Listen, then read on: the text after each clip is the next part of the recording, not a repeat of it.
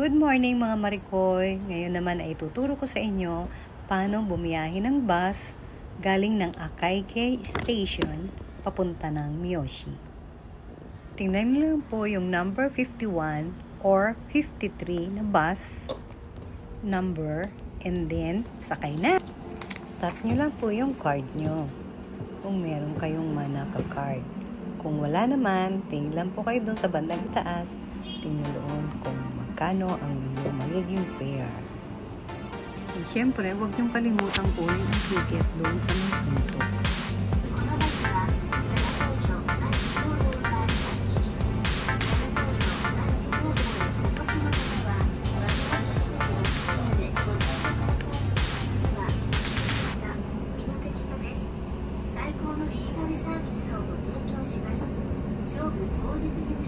お越しの方はここで大岩弁新築住宅のご相談レンタルスペースのご利用は村口 B 前のワン Ayan. Check lang po natin doon sa taas kung magkano po yung ating magiging fare. Sa start po, 170 yen. And check po natin mamaya bago bumaba para malaman natin kung magkano po yung ating fare. So, let's go! Let's go travel! From Akaike to Miyoshi, it takes 30 minutes.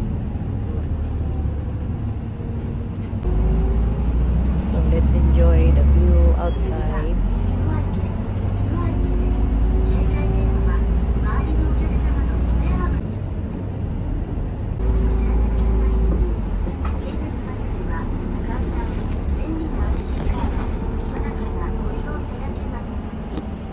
So habang bumabiyahe tayo, enjoy natin ang loob ng bus. Sari-sari makikita natin dito ng advertisement, mga events. Yan sa unahang seat, dyan ang priority ng mga disabled, ng senior, ng mga buntis, etc. Nakikita nyo po yung yellow button. Yan po kayo pipindot pagka malapit na kayong bababa. Kaya presence of mind po kayo sa station na dapat yung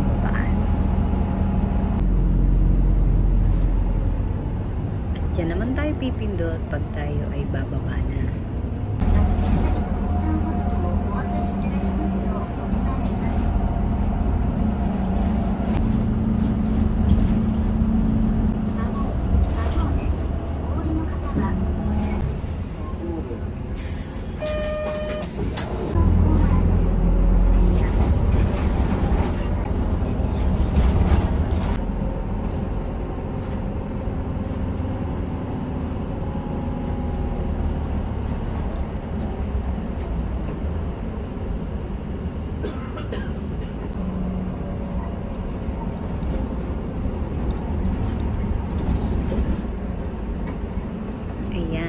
baba na tayo. Pwede ka pa nang mag-charge sa card pag ah. na naman. Radyo mo?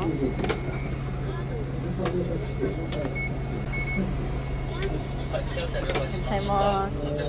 Ayan, ganyan lang. Okay na. Bye! Bye! Thank you for watching! See you again on my next vlog.